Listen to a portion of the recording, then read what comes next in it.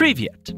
The economy of South Korea has witnessed a transformation rarely seen in many other parts of the world. And over the last 60 years, it has been the most transformative in the world. Once racked by external invasion and poverty, this Southeast Asian economy has been able to invent itself into a towering economy powered by innovation and invention. Little wonder why it is called the miracle of the Han River. In this documentary, we will tell you a tale of a small country that once was. A country that has been able to transform itself into a trillion dollar economy and the 12th largest in the world, with a GDP of about 1.65 trillion dollars as of 2019. So sit back, relax, and learn a thing or two about one of the most successful economies of the 21st century.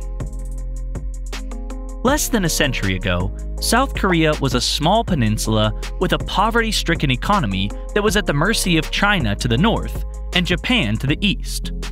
For close to half a century, South Korea was basically a vassal state of Japan, as the Japanese ruled large swaths of the country. But following the defeat of the Japanese Imperial Army during the Second World War, they vacated the island, and for the first time in several decades, South Koreans were able to take full control of their destiny. But it wasn't plain sailing, though. The Republic of Korea, as it was known then, suffered significant losses in the Korean War, which was waged with its northern neighbors, North Korea. The war lasted from 1950 to 1953, and by the end of the conflict, the economy was in shambles. Its infrastructure was in complete ruins, and the economy was heavily dependent on U.S. aid. Rather than continue to wallow in poverty and misery, and continually depend on foreign aid, the leaders took the bulls by the horns and began to rebuild the economy from scratch. By adopting meticulous planning and protectionist policies, South Korea's leaders were able to transform the country into an innovative economy.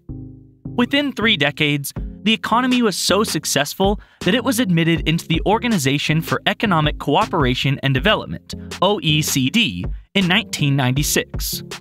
From then on, there was no looking back as the country began to transform itself rapidly. Several of its industries grew at an astonishing rate, to the shock of the rest of the world. Over time, the South Korean economy became a model other countries wanted to emulate. But what was the key to its success? Planners and policymakers invested heavily in innovation and research, and these translated into significant gains. Also, they enacted business friendly policies to ease business transactions and to reduce the cost of doing business. These went a long way to stimulate small and large business growth, and also attracted foreign investors who saw the economy as an attractive proposition. Today, South Korea is classed as a high income OECD country with a high standard of living by the World Bank. Several sectors have contributed to its growth, chief among them being the services and the industrial sector, with only a tiny part of its economy relying on the primary sector. To give you a clear idea of the industries that have influenced the economy and continue to influence the economy, let us take a look at the different industries and their contribution to the GDP. The agriculture industry used to be the mainstay of the economy for many years. During the division of the Korean Peninsula, agriculture contributed about 50% of the GDP. Once the economy began to develop, the government began to move away from agriculture as a major revenue earner. Today, it has drastically moved into large scale industrialization. By 1980, agriculture contributed only 15% of GDP, and by the late 1980s, this had dropped to 10%. The percentage was below 5% by 1998, and today, agriculture only contributes less than 2% of the country's GDP. That's an astonishing 90% drop in less than six decades. Due to rising urbanization and increased labor cost, many people are moving away from agriculture, which has made South Korea become a net importer of food. The production sector, still active in the country, is highly reliant on government subsidies to survive. South Korea now imports grains, wheat, livestock, animal hides, flour, textiles, and leather goods from the US, China, Australia, the EU, and other Asian nations. Then we have the industrial economy, which is the second largest contributor to GDP. This sector has been years in the making, and today it employs about 25% of the entire labor force. The sectors driving the industrial economy are mining, construction, water and gas, electricity, and manufacturing. In fact, the manufacturing sector has been South Korea's engine of progress, starting since the 1980s. The industry contributes about 34% of GDP, and of this percentage, manufacturing alone provides a massive 28% as of 2021. Besides manufacturing, the mining sector is also doing quite well. Mining has steadily increased in recent years, even though the country has a limited supply of minerals and metals. Today, South Korea produces copper, gold, zinc, ore, lead, magnesite, silver, barite, steel, tungsten, and many other precious metals. Despite its impressive mining capacity, local production has not been able to satisfy growing demand, so the country continues to import much of the metal it needs. A special part of the industrial sector is the electronics sector. If you ask the average person to mention one South Korean company that comes to mind, they will likely mention Samsung, and they will be right. Samsung is one of the biggest electronic manufacturers in the world, with a very strong brand. But South Korea is not only about Samsung, as there are several other brands that have managed to capture a significant market share both at home and abroad. One of such companies is LG Electronics. The country is also a hub for semiconductors, with Hynix being one of the largest producers in the world. Such is the technological capacity of South Korea that it has become a global supplier of automobiles, electronics, smartphones, chemicals, steel, and of course, semiconductors. The semiconductors market has become not just a money spinner, but also a political tool of influence. Today, the world has become hugely reliant on computers, smartphones, and electronic gadgets, and life will not remain as we know it without these gadgets.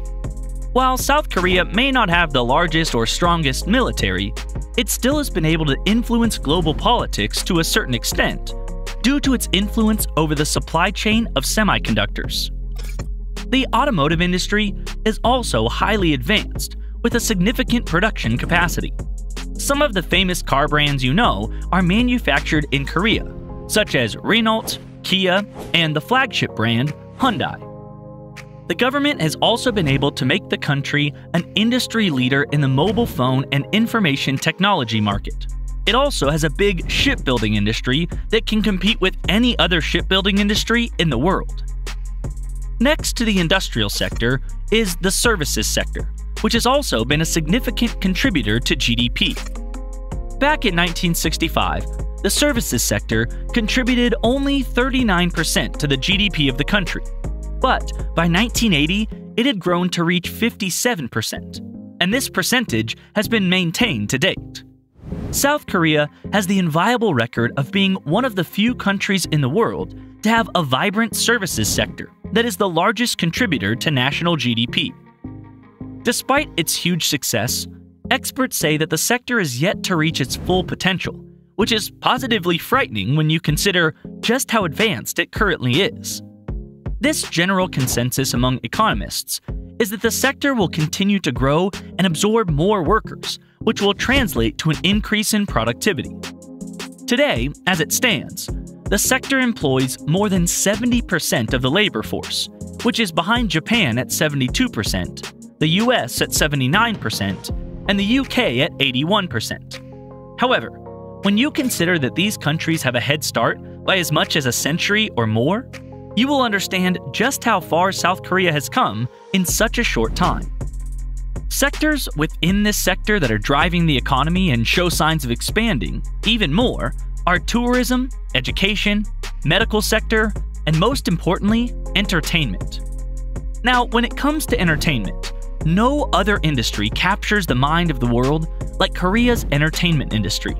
Its K pop music scene has been greatly influenced by Western culture, and has influenced the country's youth more than any other phenomenon, with several stars and groups making a name for themselves both home and abroad. Then, there is the enigma that is the South Korean movie industry. South Korean movies are not new to the rest of the world, especially in the US, with a significant South Korean population. However, the last decade has witnessed a meteoric rise of the country's cinematography industry. The world was shocked when Parasite, a South Korean production, took home four Oscars, including the Best Picture Award.